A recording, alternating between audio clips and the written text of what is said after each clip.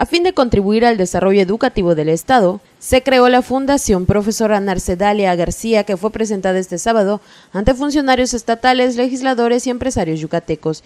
El organismo está presidido por Raúl Méndez Osorio e integrada inclusive por exfuncionarios estatales como el ex subsecretario de Desarrollo Social y Asuntos Religiosos Marco González Canto, quien fungirá como tesorero. Generando acciones encaminadas a acompañar, facilitar, capacitar y compartir conocimientos para apoyar el esfuerzo que los gobiernos federal y estatal llevan a cabo todos los días con diversas acciones relacionadas con la educación. El dirigente de la asociación señaló que el trabajo se basará en cuatro ejes temáticos, la educación escolar, en casa, productiva y para educar.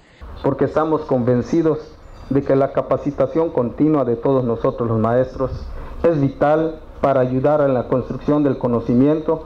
Queremos ayudar y nos dedicaremos con todo nuestro mejor esfuerzo a lograrlo, para contribuir con ello a un mayor desarrollo de los habitantes de nuestro querido estado de Yucatán. Y lo lograremos.